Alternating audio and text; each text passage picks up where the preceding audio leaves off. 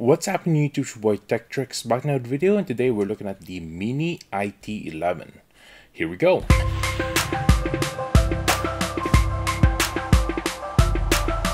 First things first, make sure to hit that subscribe button below, hit the notification bell so you can be notified of next videos, come up tips and tricks, and unboxing just like this one. Check out my merch below at 1130.ca hit that like button as well so we can beat that YouTube algorithm.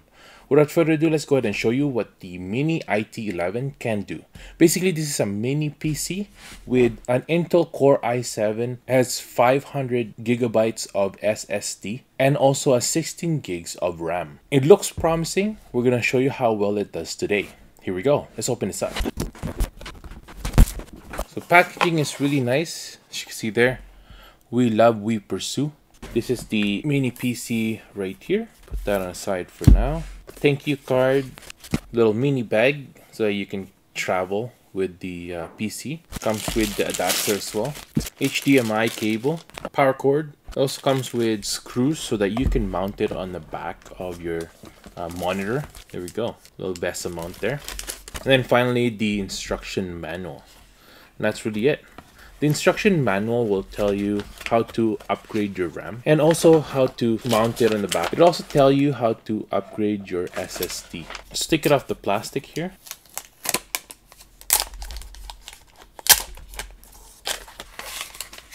There it is. Take off the front plastic here. Beautiful. Little plastic on the front as well. There it is. So on the very front here, there's the power button right there, headphone jack, USB 3 slot right there, and then the USB-C. On the side, there's an SSD card or TF card. On the other side, it comes with a lock. Uh, you can put a lock on there so that keep this secure. Of course, the side also has this uh, grill so that the air will flow through. And the back has where you plug in the power cord right there. It also comes with a mini display port, ethernet slot, two USB-A's right there, HDMI and uh, USB-C. Pretty nice. Let's open up the top here. So the top, as you could see, has this heat sink, which you could change as well. Customize this plate right here, which is really nice to see as well. If you want to replace the SSD and the RAM and upgrade it, you'll need to take off the bottoms. It comes with two 8 gigs of stick right here. Makes it a 16 gig RAM. 500 gigs SSD right here.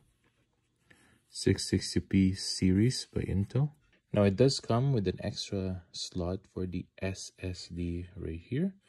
You just put a normal 2.5 drive.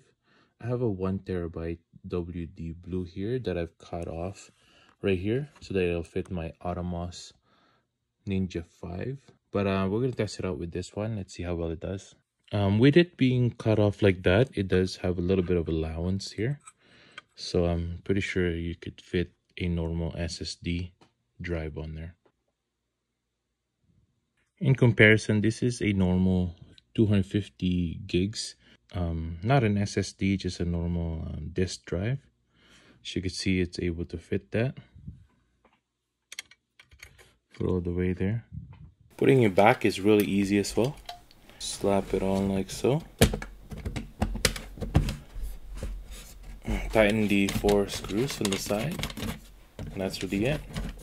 As mentioned earlier, has the i7-1195G7, which has a 4 core and 8 which is definitely enough for gaming and also different everyday tasks. I would even say that you can edit 4K videos on this because of the higher RAM and also we're gonna see a benchmark later uh, to test it out compared with the MacBook Air M1. And as you can see here on our device manager, it has 8 core Intel i7s here, which is really nice. It also comes with Wi-Fi 6 and the SSD speed is really high as well. As you can see there, the speed on the read is about 1500 megabytes per second and the write is about 974 megabytes per second, which is really awesome, quick and fast.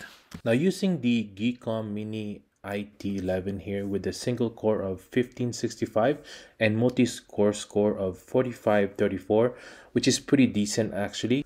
Now I ran a Cinebench as well on the Mini IT11 and the score that we get for multi-score is 5123 and the single core is uh, 1474. Really great results as well. Now I went to YouTube and played a 4K video on the Mini IT11 and I was able to get great results with no lag whatsoever.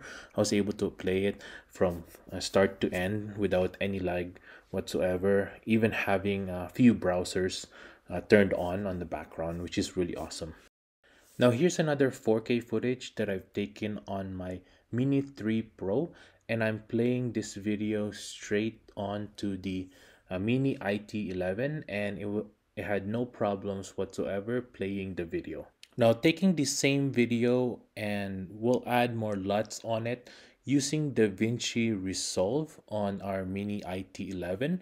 As you could see, it's buttery smooth. It has no lag whatsoever. And I'm pretty impressed actually when I was trying to edit and color this footage that we just had. Now rendering didn't take that long as well and this is the result. I'm pretty impressed actually with the result and also how fast the DaVinci Resolve, just a free version, worked on the Mini IT11. Now let's try playing Snowbird. Um, again, this is about a medium uh, resolution here. Um, I only have a uh, 1080p screen as well. My monitor is only 1080p, so the quality is pretty nice um, there is no lag whatsoever so definitely usable to play it on um, you know pretty intense game um, it doesn't have a dedicated graphics card so I would like to be mindful of that uh, some games won't run as smoothly as if there if you had a you know a GPU a dedicated GPU this is only using the i7 mainly for the GPU now it did well with the single player game. How about on a multiplayer game? So here's Battlefield 5 playing online right now and um as you can see uh, it's able to do well as well. For my taste i think it could be a little bit faster especially um, if it has a dedicated gpu it would help a lot. But um, for the most part it is very usable now another takeaway with the Mini IT11 is that you can do up to four displays here, which is really good for a small device. Pretty impressed by this as well. One takeaway though, it does get heat up a lot, so just beware of that. And that's for today everyone. Thanks for watching. I hope I was able to help you on your choice on a brand new Mini IT11 a PC for your home. Mini PC perhaps with Geekom are really good. They have been reliable for me. I've I've tested out multiple uh, mini mini air 11s as well, so that's really good. Let me know in the comments below if you want to get one of these. Um, there's going to be a link down the description below, affiliate link. It does help the channel a lot. Uh, make sure to subscribe to my channel, hit that like button as well so we can beat that YouTube algorithm. I hope you guys have a good day and stay grateful. Peace.